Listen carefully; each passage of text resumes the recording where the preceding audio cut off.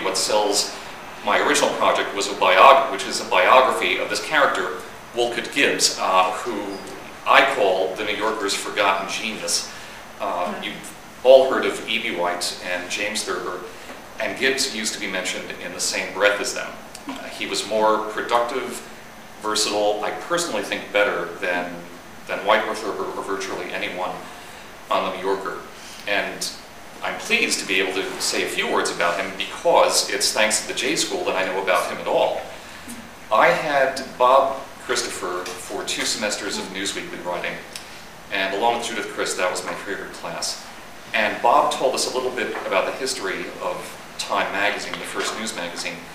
And back in the 20s and especially the 30s, Time had a uniquely weird way of presenting the news. They used sentence fragments, uh, they were scandalous, they had these weird uh, conflations.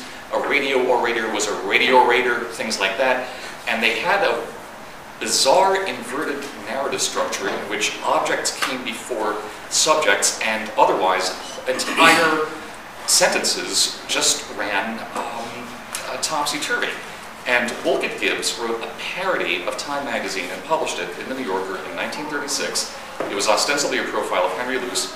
It was a full-blown parody of Time, and the most famous line was, backward ran sentences until reeled the mind.